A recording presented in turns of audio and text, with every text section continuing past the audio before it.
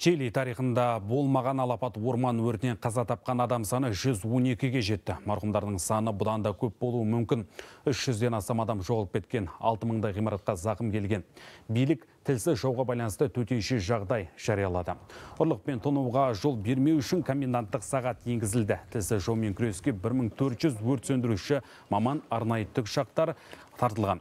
Өрт кезінде зардап шеккендердің көбі жағалаудағы Вальпараисі өңіріне жазғы демалыс кезінде барған. Аймаққа аптап ыстық пен қуаңшылық салдарынан 180-нен астам өрт ошағы тіркелді. От 50 мыңдай гектарды шарпыған. Өрт әпсәтте ботаникалық саябаққа жетті. 10 минуттан кейін жалын біз тұратын жерді шарпыт. Айналаны қара түтін басып, аспан көрінбей қалды. Сол сәтте екпінді жел соғып тұрған еді.